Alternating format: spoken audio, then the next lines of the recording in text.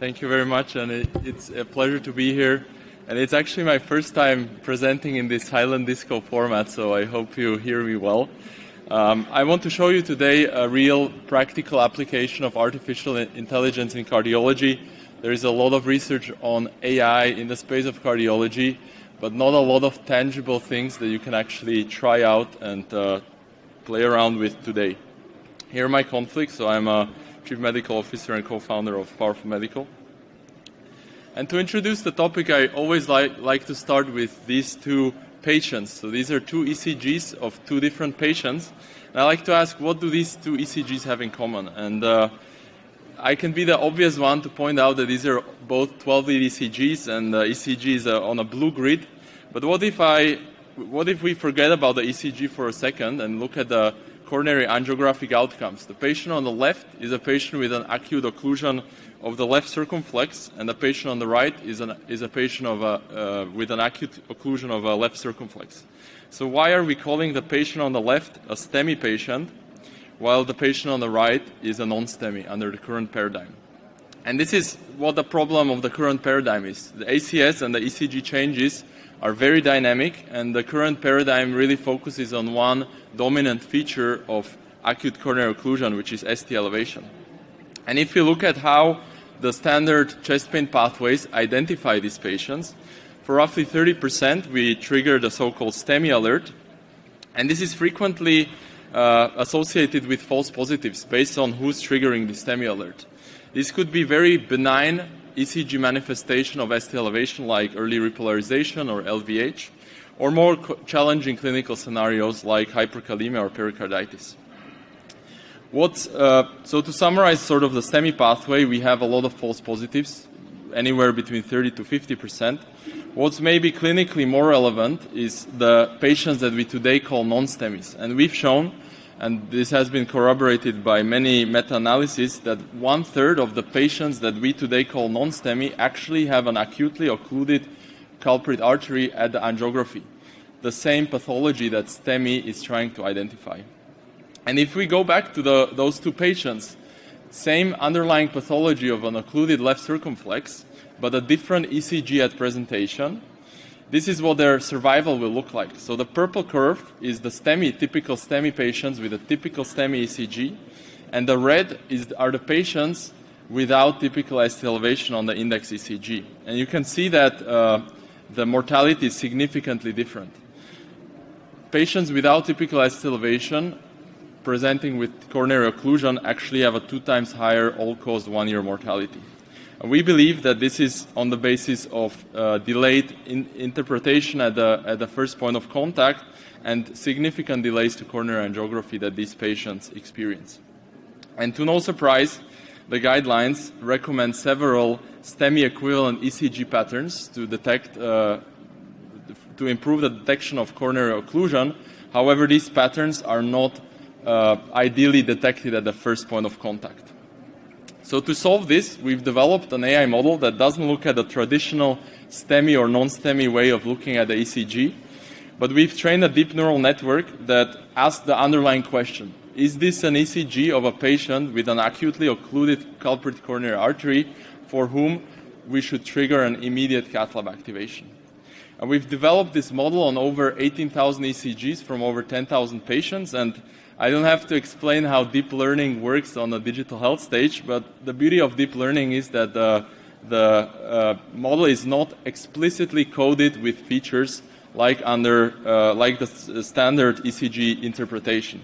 So deep neural networks are able to find uh, deeper connections in the data and use much more parameters that might not be humanly explainable to uh, correlate patients with coronary occlusion. We validated this model in an international cohort, and the primary endpoint was an angiographic one of uh, patients uh, needing emergent revascularization or patients with TIMI 0 to 1 flow. And we've used a large cohort of, of uh, all-comer chest pain patients and acute myocardial infarction patients stemming from two US sites and one European center.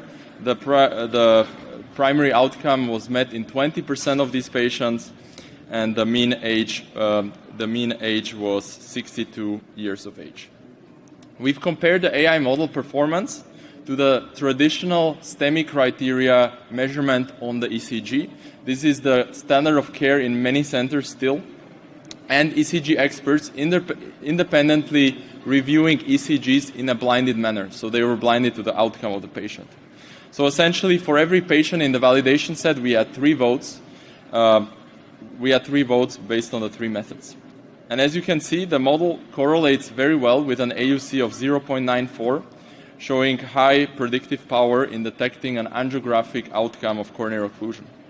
We've also performed subgroup analysis showing the model performance across various demographic, electrocardiographic, and rhythm subgroups, often uh, making ECG interpretation in this cohort more challenging. I would just like to highlight two subgroups. So these are complex scenarios like tachycardia or atrial fibrillation causing many false positives. And in these, in these patients, uh, the model had a very high specificity. To summarize the performance, you can look at it uh, in a very simplistic manner. Our model is able to increase the sensitivity of detecting acute coronary occlusion regardless of ST elevation by two, twofold compared to the standard of care at the same specificity.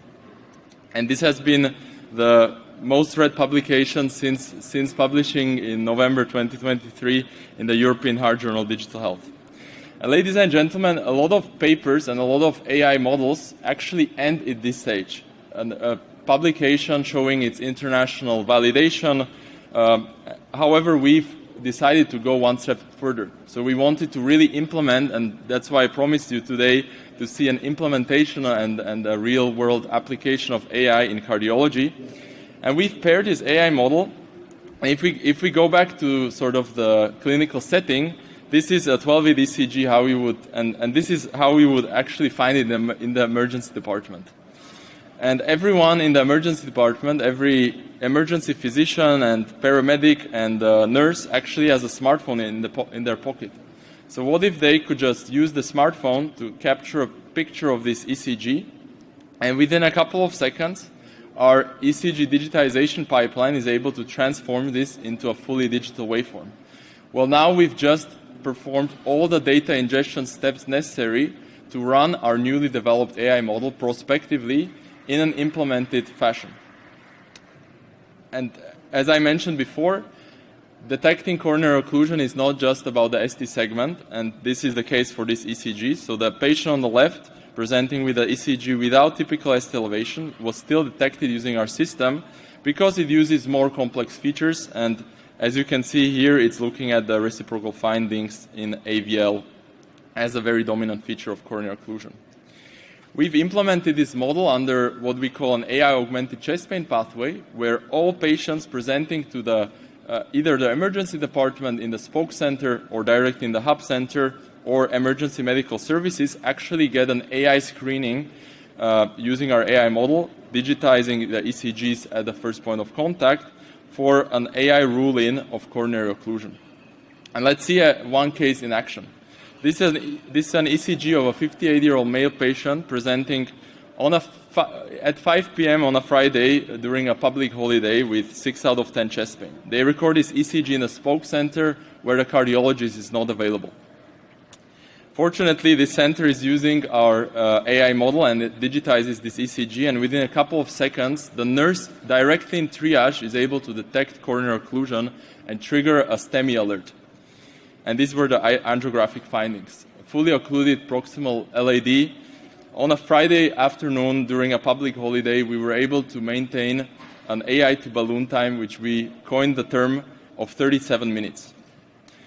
And a lot of the times you will hear when talking about AI, this black box nature of AI. So AI is, is, is using very nonlinear features to derive these, these predictions. However, we can actually backtrack the AI model's uh, uh, calibration.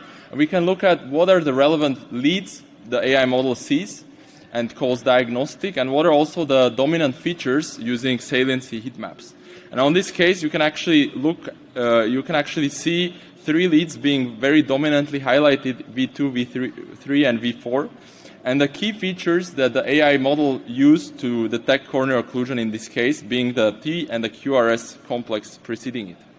And this is actually one of the STEMI equivalent ECG feature, features that have been uh, added in the recent ESC guidelines, which uh, are a manifestation of broad T waves uh, with, a, with a smaller QRS amplitude um, preceding it. And AI can help us really define and uh, find these patients with these STEMI equivalent ECG features. So to summarize, AI can assist us with the early identification of STEMI equivalents with an occluded culprit artery that are frequently missed by traditional criteria. AI ECG interpretation has two times higher sensitivity at equal specificity compared to standard of care. And a smartphone based AI powered STEMI network can actually ensure the timely management of these STEMI equivalent patients explainable deep neural networks can actually educate us on STEMI equivalent ECG findings and can, can go beyond uh, the human understanding of the ECG. Thank you for your attention. Thank you.